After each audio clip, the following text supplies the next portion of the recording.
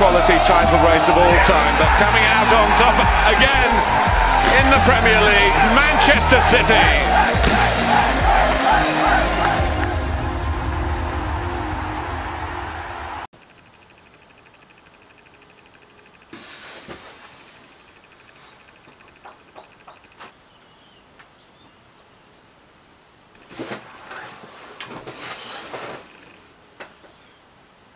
I was really hoping that the first episode of this new season would uh, be a little bit more upbeat and uh, joyful than than this is. Um, if you've come to watch a happy, joyful, energetic video, you may click off now because this is it's not what this is gonna be. It's uh, it's not what this is gonna be. So, ladies and gentlemen, the uh, first weekend of the Premier League is over, and uh, Frank Lampard's Chelsea have got off to I'd say the worst possible start. We knew going into this game against Manchester United that it was going to be a difficult game. Man United are no slouch of a side.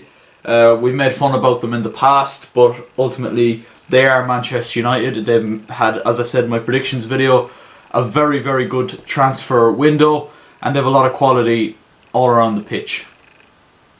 However, really? Four, like four, four, four nil Four, four, four nil. Oh my god. See, one thing that this result is going to do is uh, heap a lot of media pressure on Frank Lampard, and that's not ideal. It's just not ideal so early on in the season. And I did say that um, this game against United was more important than just a first game of the season. Um, it's it's likely that this will have a knock-on effect for the next couple of games. We have to play the European champions on Wednesday in the Super Cup. I fear that massively. Massively. Let's get into it then. Realistically, right, this game was kind of split up into a lot of different uh, sections. And I'd say the first section of the game, first 15 minutes or so, I felt like Chelsea did well, dominated a lot of the ball. Um, we're getting chances. We're moving it around nicely. We're pressing Man United high, but ultimately weren't really, um, you know, of any massive threat. I would have said. And then they say goals change games, and that was certainly uh, the case. Um, Marcus Rashford fouled by Kurt Zouma. So fucking clumsy. Oh my god it's it's so clumsy. All he needs to do is stand up. Just don't let him shoot.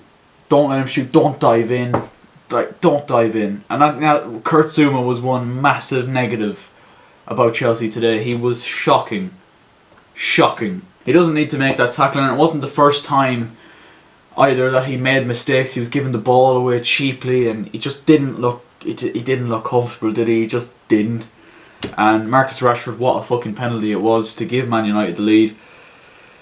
And that's how it was at half time, and then it just kind of fell apart altogether, didn't it? Uh, really, really did. A lot of people at half time kind of said that Chelsea were overall in the first half probably the better team and unlucky to be behind. And it was a mistake that, you know, cost the goal.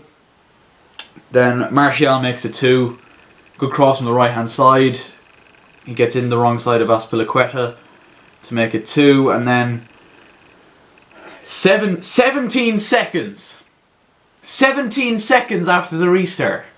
You can see the third. Like, there's one thing making mistakes, right? As long as you learn from them. But one thing you should have as a professional footballer is a bit of fucking concentration. Yes, you conceded a goal. It's disheartening. It's not ideal, obviously. But don't switch. Cesar Azpilicueta switches off switches off, and Rashford puts it in for three. He's quick. He's very quick, Marcus Rashford. Why are you going to play a high line and leave so much space for one of the quickest players, if not the quickest player on the pitch, to run into? It's beyond me. It's absolutely beyond me. And then the fourth happened. And uh, just shambolic defending again. Daniel James got the goal. Uh, he kind of it looked like the chance was getting away from him, but he still managed to squeeze it in past uh, to make it 4 0, and that is how it's finished. Uh, wow, it's. Wow. We're back! we're, we're, um, we're well and truly back, aren't we? Uh, so many negatives. So many negatives to take out today. The defending was shocking. I've, I've mentioned Kurt Zouma already. I mentioned Cesar Azpilicueta. Emerson was decent enough going forward and getting back as well. I thought he was alright. I didn't have too many problems with him.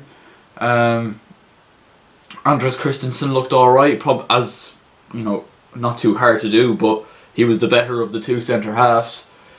Um, but just a lack of leadership, and I think that's what we've lost in David Luiz more than anything else. Obviously, he's gone to Arsenal now for eight million pounds, um, and yeah, I think that's that's just one. And look, we do have Antonio Rudiger coming back, and to a degree, yes, he is a leader.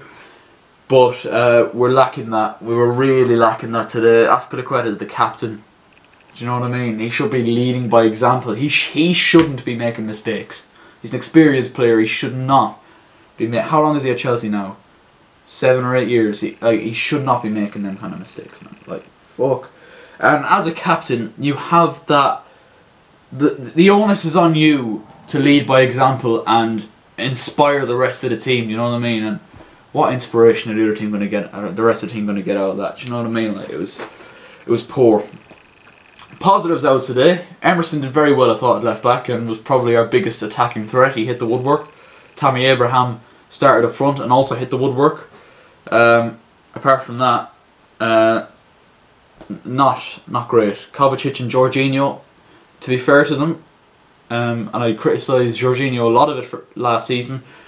Um, when he got the ball, he passed it sideways, he passed it backwards. But today, in fairness to him, he was getting the ball in midfield. He was trying to be positive. He was trying to pass it forward, trying to do the right things, but it didn't always come off. So I can't really fault. Just the real blame has to go on that defense. It really does. It's it's so bad. It was so so bad. Like really rookie errors and the kind like.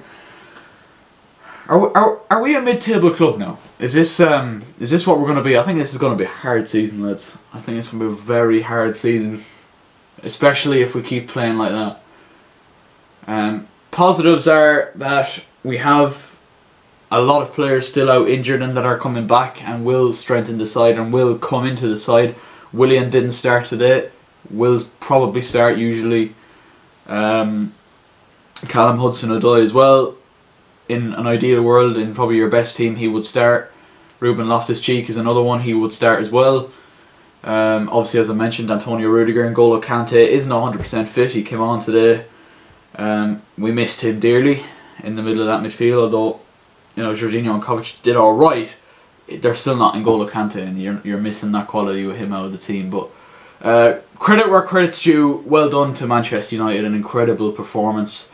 Uh, I think the biggest difference between the two teams, United were very clinical in front of goal, took their chances when they came, and Chelsea didn't. And when you put, uh, when you combine sort of, you know, clinical strikers, which they had today in Rashford and Martial, and that's one criticism I've had of them two in particular the last couple of seasons, they were very clinical today. And when you have that mixed with incompetent defending and lack of leadership and just bad mistakes, it's a recipe for disaster. It really is. Um, and it was. It was a fucking disaster. It was humiliating. It was absolutely humiliating. But United have shown that uh, they're not messing around this season. Be interesting to see how well they can do now from here on in. But as I've said, credit where credit's due. They were far better than us just going forward and far better all around the pitch today, and no one can deny that. Heads up, where do we go next? We've got Liverpool next in the uh, UEFA Super Cup on Wednesday evening, so I might make a verdict on that after the game. Uh, you may have noticed I uh, haven't spoken about any other of the results from this weekend. That's because I felt like this the, the Chelsea match by itself, d- like had enough in it to be one video. So, the, like hopefully from now on we won't have to talk about Chelsea so much that we can include more of the teams. But uh, I just felt like this video today needed to just be about Chelsea. I needed to get my thoughts out there.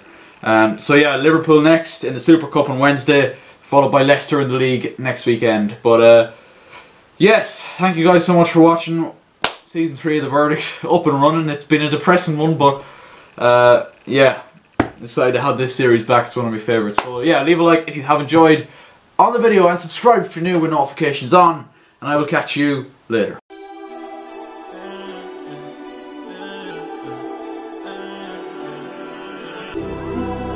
You trying too hard, yeah. Well, that's how you're gonna fall, yeah. Don't let them change up who you are, yeah. Cause you know who you are, yeah. yeah you trying too